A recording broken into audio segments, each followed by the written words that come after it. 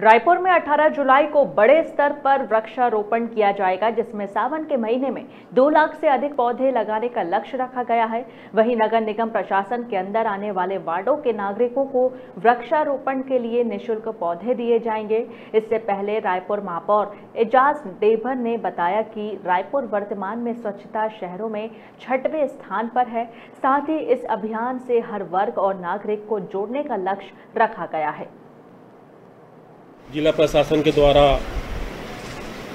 18 जुलाई को एक बेहद वृक्षारोपण का कार्यक्रम किया जा रहा है। वर्तमान में आप सबको पता है कि हमारा देश स्वच्छतम शहरों में हम छठवें स्थान पर हैं और फास्टेस्ट मूवीज़ कैपिटल के तौर पर भी हमें चिन्हांकित किया